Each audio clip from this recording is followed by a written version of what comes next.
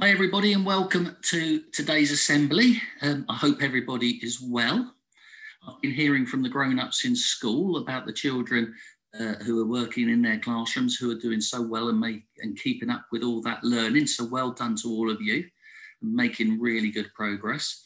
And also about all of you at home as well who have been engaging and working on your remote learning using your computers well done to you as well. Many of you are doing some fantastic things and returning work so that the teachers can mark it and then set the next bit of learning for you. So really good. Last week we sent out a survey to all the mums and dads and people at home to find out how the remote learning was going for them.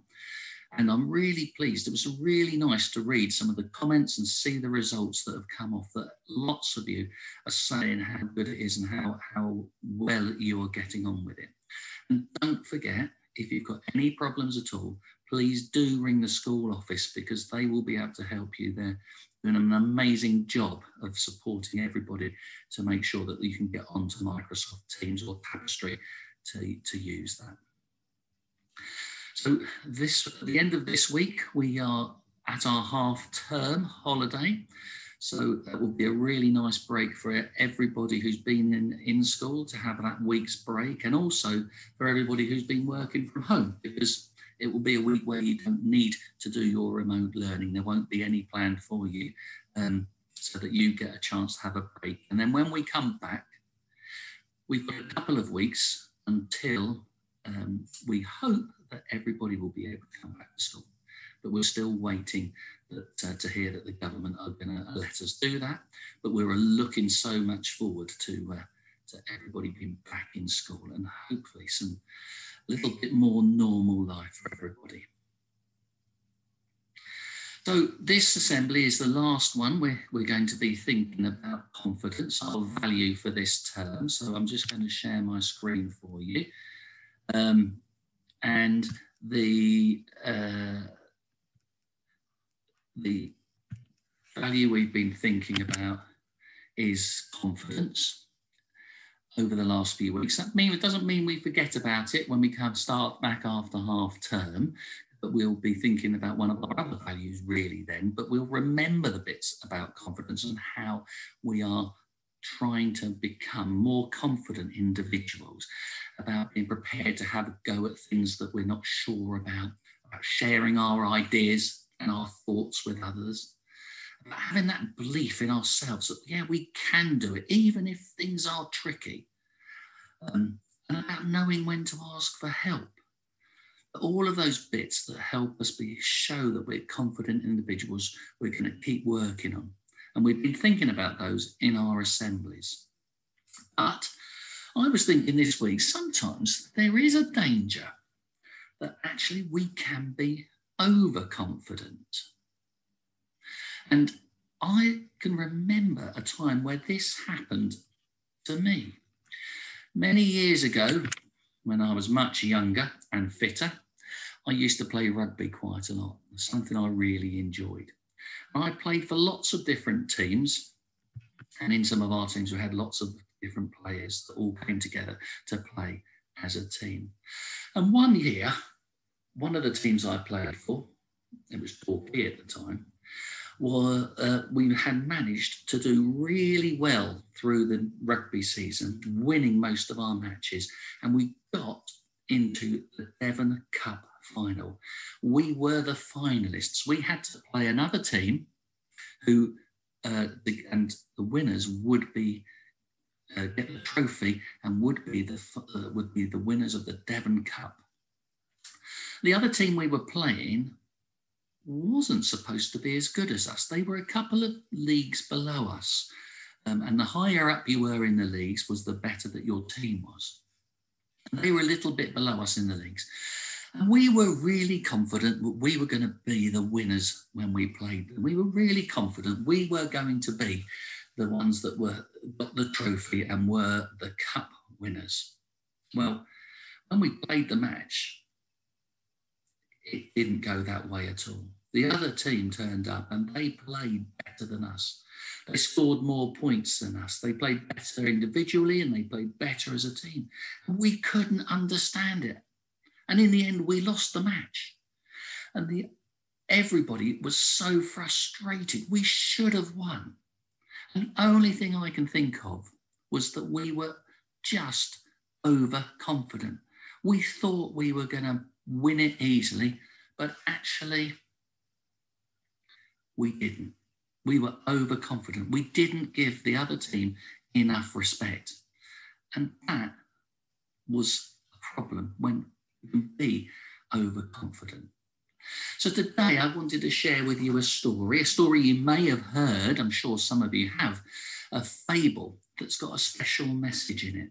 But it's about being overconfident and how sometimes being too confident cannot be a good thing.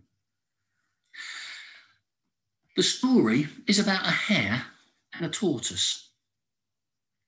There was once a hare that was very, very fast, and a tortoise that was very slow.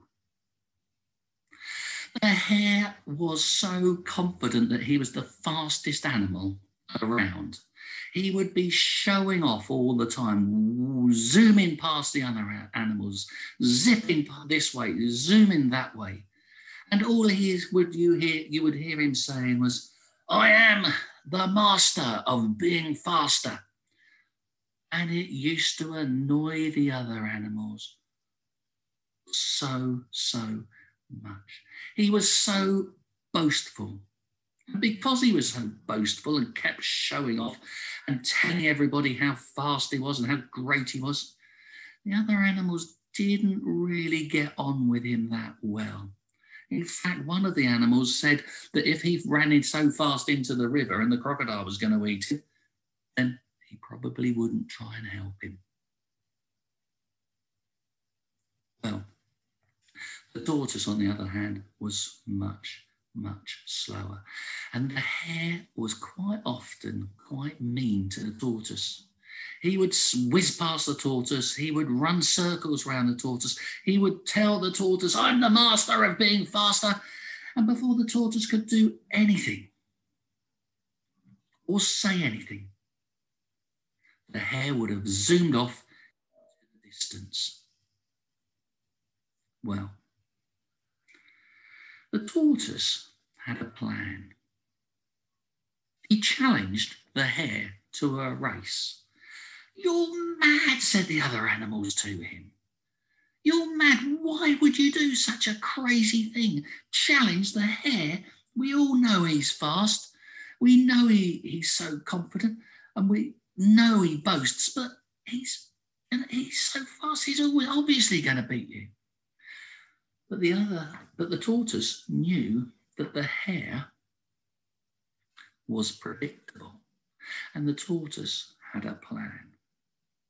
One beautifully sunny, warm day, the hare and the tortoise were on the starting line. It was time for the race. The whistle went, and zoom, off went that hare. So quickly you couldn't see him. He was off into the distance in seconds. The tortoise looked up and started to slowly plod along at a steady pace. Well, before long, the hare was came zooming back, raced around the tortoise twice, and zoomed off again. Come on, catch me up, tortoise. It was your idea to have a race. Remember, I'm the master of being faster. Oh, the tortoise didn't let it bother him. He kept plodding on at his steady pace. Ah, the hare, being as confident as he was that he was easily going to win this race, started to feel a little bit tired. And he decided that he had time to have a little sit down and maybe even a little nap. So on the by the side of the uh, road, he found a nice grassy mound and sat down, laid back, and could feel the warm sunshine on his fur. Well, very soon that nap turned into a doze. And not long after that, it turned into a longer snooze. And before long, the hare was fast asleep. And the tortoise was steadily plodding on. Soon the tortoise plodded on past the hare, and he could see the hare on the little grass bank, fast asleep, and he kept on plodding. Just as the tortoise was getting close to the finishing line, the hare woke up. Oh, big yawn, shook himself. Oh, what was it I was doing? Ah, the race! He remembered he was in a race. He zoomed up on, got up onto his feet and he zoomed off towards the finishing line. It was too late.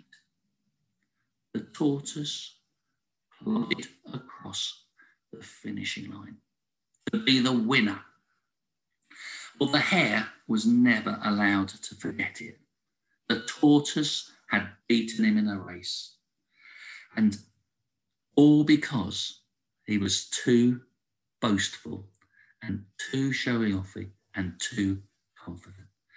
So hopefully we can learn that we need to be confident because it's a good to have our confidence, to be able to tackle new things, to be able to try things when they're tricky.